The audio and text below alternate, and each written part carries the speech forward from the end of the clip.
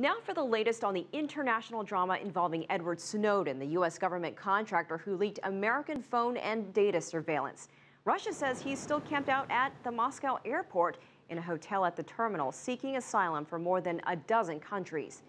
Speculation mounted Tuesday that Snowden had flown out of Russia with Bolivia's president, who was visiting for a summit. Bolivia denied the rumor and accused the U.S. of ordering European countries to block President Morales' flight from their airspace.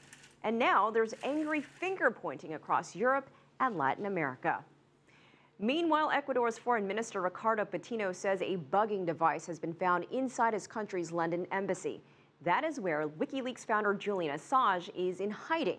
Patino said the microphone was discovered two weeks ago when he was visiting the UK to meet Assange. CCTV's Richard Bestic reports from London. This latest twist has worsened an already tense diplomatic standoff here at the Ecuadorian embassy. Ecuador's ambassador provided only sketchy details about the hidden microphone discovered in her office.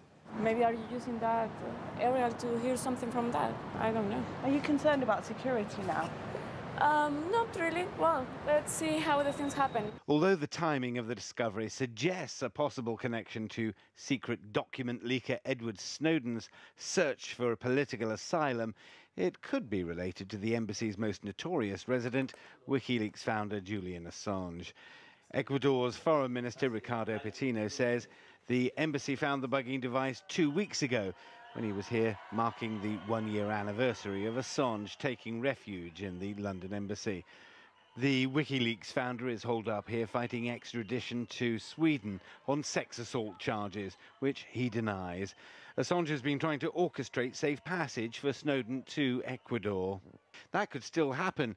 Back in Ecuador's capital, Patino denied media reports that Ecuador had ruled out granting Snowden sanctuary. El, el gobierno the Ecuadorian government wishes to deny certain claims and say that the stance of the government since the first day has been that we are ready to analyze the asylum request of Mr. Snowden.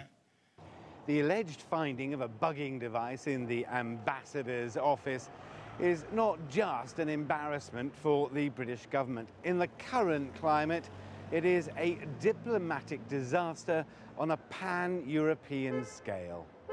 Richard Bestic, CCTV at the Ecuadorian Embassy in London.